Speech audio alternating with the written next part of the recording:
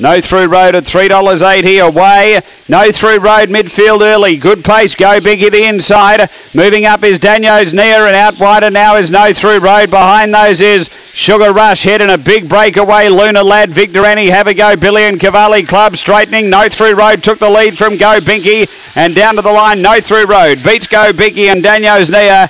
Behind those next came uh, Sugar Rush head from Have a Go Billy, Victor Annie. And Cavalli Club is back at the tail. The time here is 18 and 55. After the running of race number three, uh, numbers are 4, 2, 8, and 7. Number four, No Through Road, the winner. Tony Henriksen, a blank bitch, June 2013, Oaks Road. Tanashi Bale, she didn't have the best beginning, but was able to work her way through traffic and uh, zip up on the bend, take the lead, and dash clear. Number four, no Through Road, a blank bitch, June 2013, Oaks Road, Tanashi Bale. Two seconds.